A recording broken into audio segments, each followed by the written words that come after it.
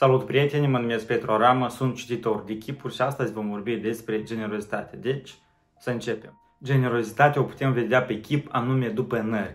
Atunci când nările sunt vizibile și mai mult de atât sunt foarte rotunde, asta înseamnă că persoana este generoasă, da? este predispusă de a se împărți cu partea cea mai materială, da? Uh, când vorbesc de generozitate, mă refer de a mă împărți cu ceea ce presupune uh, bani, finanțe, ceea ce vine din minte și ceea ce vine dintr-un calcul. Și asta nu nici cum nu este bunătate, pentru că bunătatea deseori vine din inimă și vine din propria inițiativă. Generozitatea sau eu sunt generos atunci când tu ceri ceva de la mine și eu îți dau sau nu. Atunci când nările cum vă uitați la o persoană în față, dar atunci când nările nu sunt vizibile, asta ne arată la o persoană cu un nivel scăzut de generozitate sau putem să-i spunem mai zgârcit.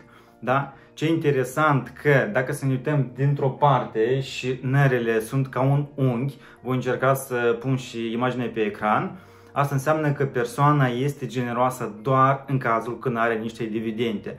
Ceva de gen, mie ce mi iese din asta, Uh, cât te ajut pe tine, gen eu ce premiez din asta. Cam asta e. Dacă nasul, vârful nasului este coborât în jos, bineînțeles că acolo nici pe aproape de generozitate și da, această persoană este uh, mega zgârcită, dacă vreți, putem să-i spunem așa. Cam asta a fost pe astăzi, așa un filmuleț scurt despre generozitate.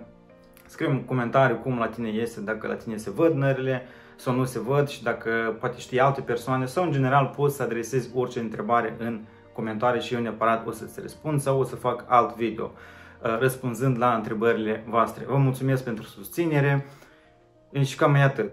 Dacă vrei să te înscrii la o consultație de citire echipului, să afli mai multe despre tine, cât și despre alte persoane, cum ar fi coleg de muncă sau uh, persoana iubită, dacă vrei să înveți și tu să citești pe echipuri, pentru că da, te pot învăța și pe tine să citești, cu mare drag. Voi lăsa contactele mele în descriere acestui video, mă poți contacta și facem programare cu mare drag. Îți doresc o zi frumoasă în continuare și toate bune!